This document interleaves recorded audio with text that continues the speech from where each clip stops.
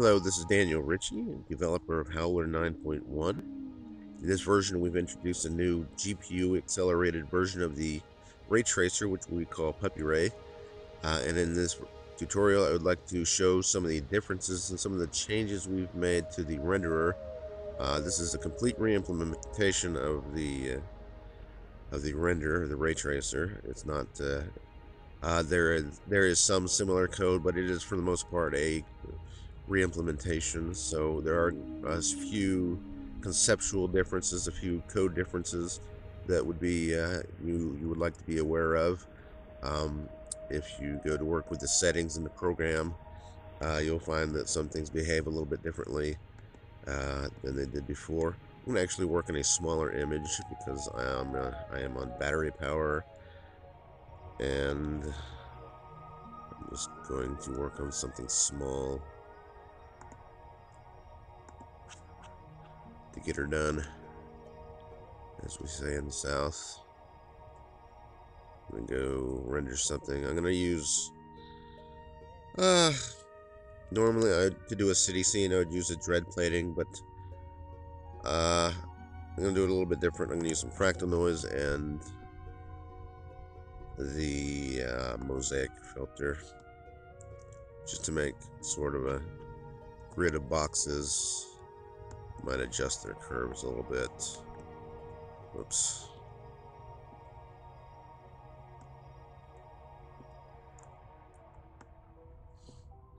Get okay to that.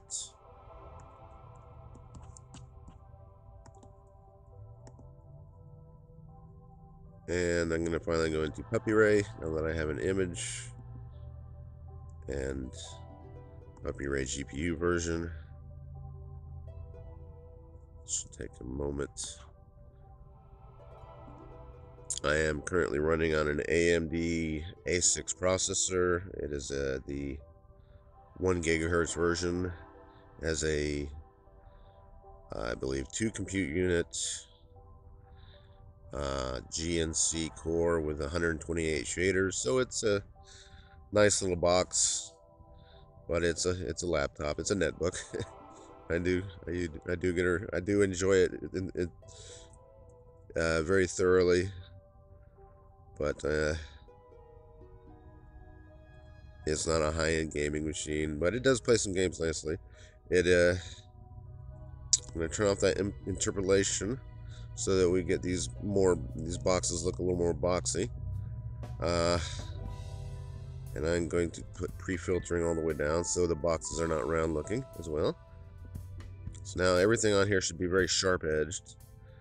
Um, I'm gonna, whoops, move the camera around so we get a better view of what we're looking at here.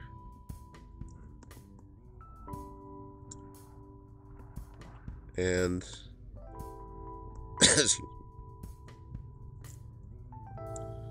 I'm going to turn on global illumination. Now, one thing that has changed in Puppy Ray from the CPU version, and even in the CPU version, um, previously when we did global global illumination, each ray, um, and there's a setting for how many rays that are cast out called GI samples there. But each ray that was cast out for this global illumination sample would um, trace all the way through the scene, and we found that objects that are far away really didn't contribute that much to the final um, illumination of a particular point on an object. So we've reduced it to, um, in the CPU version, we've reduced it to I think a quarter of the scene. And in the GPU version, it's smaller than that. Um, so that's one change we've made as an optimize um, there is a number of other changes to global illumination that have changed. One is that the uh, the quality of global illumination is now linked with the shadow quality. So if you recall, um, using shadow quality will sometimes using a larger value will be faster, but it'll give you a more blocky looking shadow. Uh, it is the same with global illumination. Now. They are linked. Although there is a um, min quality clamp if you want to have a very high quality shadow uh, but you still want to have a faster global illumination you can use this min quality uh, to clamp the global illumination to a specific quality while you can change the shadow quality to a higher value. Um, another thing that has changed in the uh, puppy ray is that um, previously with anti-aliasing you could uh, set a value here anti-aliasing steps and that would actually be a uh, cu uh, cubic uh, or uh, exponential value uh, the value you use would be exponential. In other words, if you typed in 2 or 3, rather, if you typed in 3, you would get a grid of uh, 3 by 3 passes uh, in anti-aliasing. Um, and if you typed in 4, you get a grid of 4 by 4. So uh, an anti-aliasing step of 4 would actually take quite a long time to render because um, you were rendering 4 times 4 passes. That's uh, 32, I believe. I don't know. I don't. Uh, it's been a long week.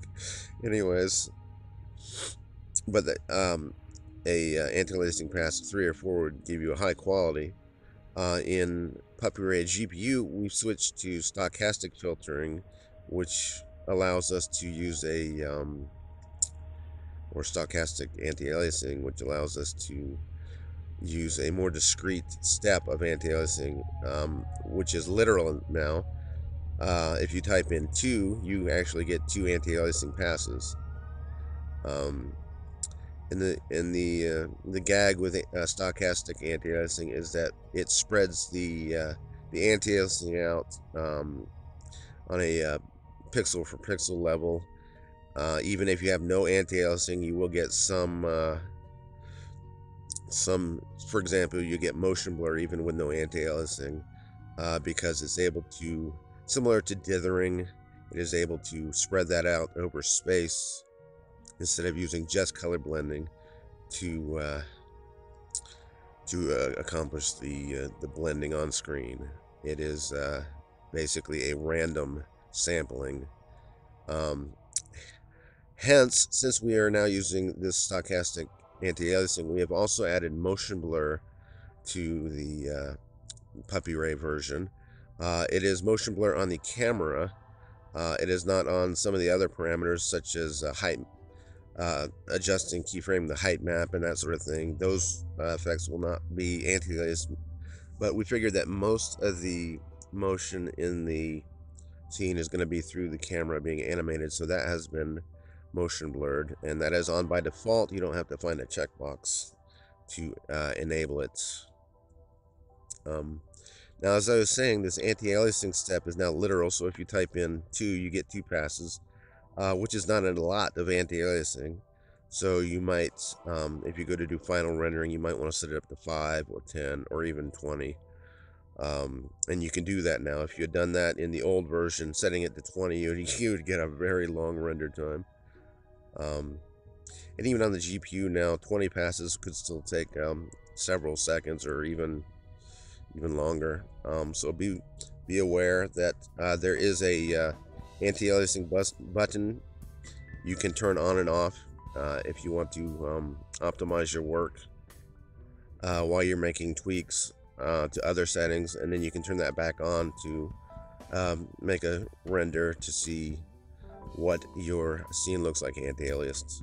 Um, because remember, each time you um, add an anti-aliasing pass, you are adding an entire new render, uh, and um, it will be a literal doubling. Uh, if you if you do a uh, anti-aliasing step of two, your render time will double. If you do a step of three, it will triple. So be aware of that. All right, so I've talked about most of the big changes in the rendering. Um, uh, you can see that the panel has also been rearranged. Uh, there used to be these move, uh, size, rotation. They used to be out on the main part of the panel. They've been moved here to the more space, um, just to give us a little more room uh, and to allow these uh, these controls here to uh, do the of the work. So I'm going to go ahead and close the more panel for now. And I will uh, talk about just a few of the small changes that are talked here and I will wrap up. So basically, we've added one new control here, which is camera zoom, which allows you to zoom in and out.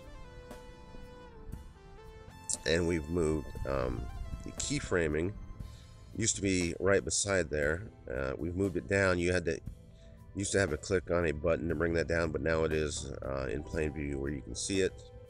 That's one little small thing we've changed we've made. Um, some of the settings have changed. Uh, we no longer have the hours would seem like days uh, because the point uh, with the GPU is to try to ray trace as quickly as possible. Um, we've uh, moved the interpolation button out here and uh, some of these other things out here have been moved as well. Um, one more thing I'd like to cover before I close is that uh, on the GPU renderer, excuse me, sorry, on the GPU renderer, um, we get a time slice of about two seconds uh, before we're kicked off the processor. GPUs uh, so far do not support true multitasking. Um, so we basically have to manage that ourselves. Um, the problem with ray tracing is that any one thread can go on for quite a long time. So uh, to reduce the problem, we've split the image into a grid.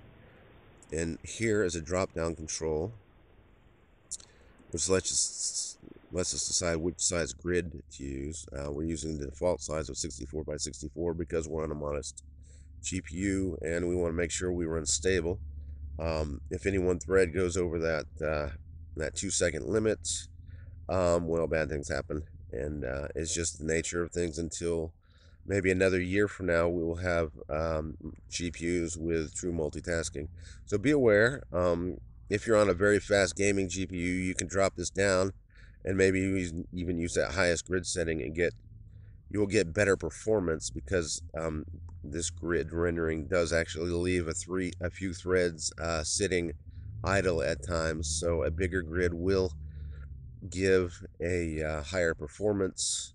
However using the smaller grid is safer so um, it is going to be entirely depending on your GPU um, this program this implementation is not going to work for every single possible piece of hardware out there. We've done our best with it um, but we are expecting to run on at least a certain level of performance, a, mach- a machine that has a certain level of performance, and um, not every GPU is created equal. Um, some are going to give us really tremendous performance, and some aren't. So it's going to take personal experimentation, and that is about the gist of it. Um, uh, we are releasing Puppy Ray uh, as of yesterday, so or uh, version 9, which includes Puppy Ray GPU as of yesterday. And I hope you all have already received it. Um, I am I am glad to be releasing. It was kind of a, a grueling experience. And uh, we really hope we did a excuse me. hope we did a good job with this one. And uh, that's about all I have to say for today. And uh, talk to you later.